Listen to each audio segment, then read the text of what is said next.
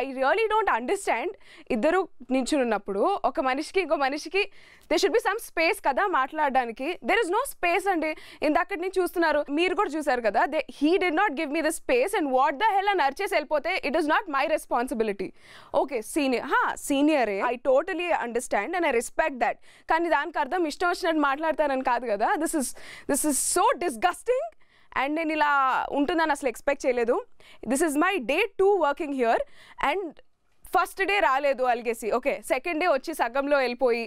What what is he trying to prove okay మీరు తోప్స్. Okay you are great you are very well known VJ కానీ దానికి అర్థం ప్రతిసారి ఇలా వచ్చి మీ అక్కడ మీ యాటిట్యూడ్ నా మీద చూపిస్తానంటే it is it is not cool it is not good సింగిల్లా ఎవరైనా చేయగలరు. నేను ఫస్ట్ డే ఫస్ట్ డే చేశాను. అది పొగరుతో చెప్పట్లా కాన్ఫిడెన్స్తో చెప్తున్నా.